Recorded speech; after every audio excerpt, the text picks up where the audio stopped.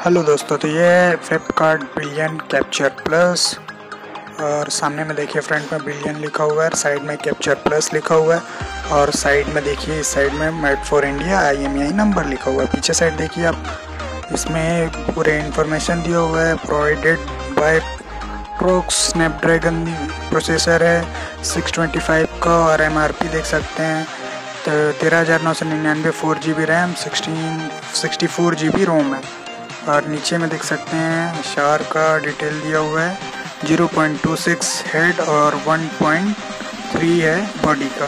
तो चलिए अपन इसे ओपन करते हैं बॉक्स को। तो ओपन करते ही अपन को देख सकते हैं रेड कलर का बॉक्स है। उसमें कुछ डिटेल लिखे हुए मेड इन इंडिया लिखा हुआ है। ब्लैक कलर का फ़ोन है अपना।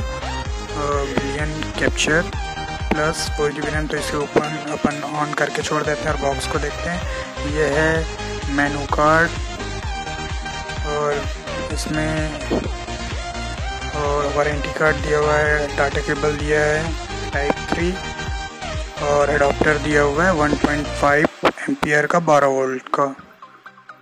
और 9 वोल्ट है 2 एम्पियर के साथ। एडाप्टर काफ़ी अच्छा है और ये हमारा फ़ोन ऑन हो गया है तो आप देख सकते हैं डुअल कैमरा दिया हुआ है।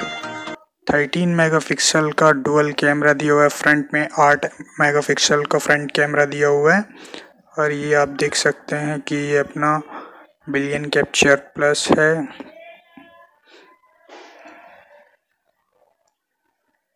और इसकी स्क्रीन 5.5 इंच की है। एलसीडी स्क्रीन है। साइड एक 3.5 mm का जैक दिया हुआ है। एसडी कार्ड सिम स्लॉट दिया हुआ है। और नीचे में स्पीकर है और चार्जिंग पॉइंट है। बैक साइड में फिंगरप्रिंट स्कैनर दिया हुआ है। डुअल एलईडी फ्लैश है। Made in India made for India provided by प्रॉक्स Capture plus billion का फ़ोन है। और मैं आपको इसका कैमरे के बारे में भी बताऊँगा। तो अपन सबसे पहले इस, इस इसके स्कैनर को देखते हैं फिंगरप्रिंट स्कैनर को। काफ़ी अच्छा काम कर रहा है।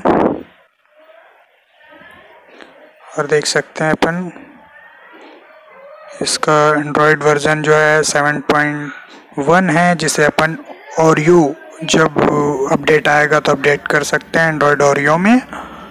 और इसमें sixty four G B internal है और फोर जी बी रैम है।